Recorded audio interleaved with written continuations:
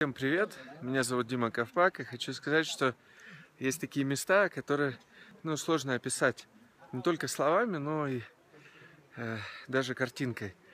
А дело в том, что место, в котором я сейчас нахожусь, э, находится на высоте 4300 над уровнем моря.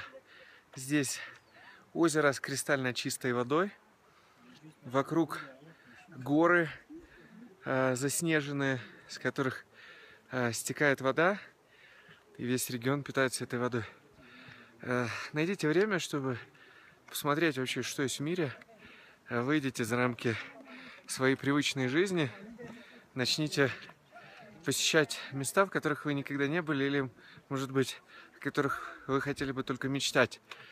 Э, тогда вы станете на путь, и поверьте, на этом пути вы реализуете все свои желания. Так работает схема – которую я еще открыл когда-то в Тибете, и теперь регулярно подтверждаю ее в самых разных удивительных местах. Сейчас мы в Перу, э, недалеко от э, Мачу-Пикчу, и стоим на тропе Салкантай. Вы можете попробовать и пройти э, по этой тропе, если у вас, конечно, хватит сил. Попробуйте, а вдруг получится.